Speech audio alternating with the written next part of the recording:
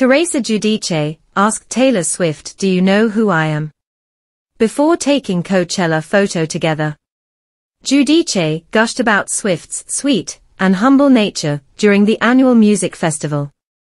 Teresa Giudice is sharing how her iconic selfie with Taylor Swift came to be. On April 14th, Swift posed for a photo with the Real Housewives of New Jersey star, 51, at the Coachella Music Festival, and her husband Louis, Louis Ruelas, was the mastermind behind the shot. Two absolute queens, Taylor Swift and my stunning wife. In the photo, Swift could be seen rocking a dark jacket, and a green backwards cap covering her bangs, as Giudice wore a pink ensemble featuring a glittery cowboy hat and knitted cardigan.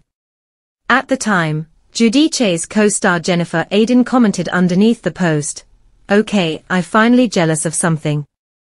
I didn't want to ask her for a photo, because I didn't want to bother her, Giudice confessed to E!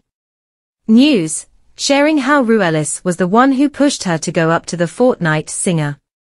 Jennifer Aydin, on my show, she loves her. I'm like, alright.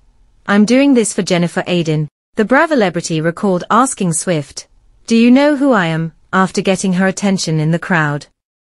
To her delight, the artist knew who she was and posed for a photo. I'm all about that, Giudice said of Swift's sweet and humble nature. Listen, we should all be amazing to each other, lift each other up. She touched my heart. There are some people that I have met. I'm not going to say who, that act like who they are and I love that a Swift was so down to earth. Swift attended Coachella's Weekend One event with boyfriend Travis Kelce. The pair linked up with friends Sabrina Carpenter, Barry Keoghan, and Ice Spice during the annual Music and Arts Festival in Indio, California. Swift and Kelce, 34, were spotted dancing together and sharing a smooch while Bleachers, a project fronted by her friend and collaborator Jack Antonoff, took the stage.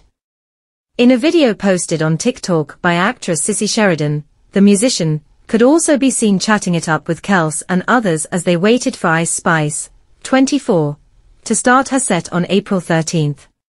They also danced in the crowd during Dom Dolla's set that same night.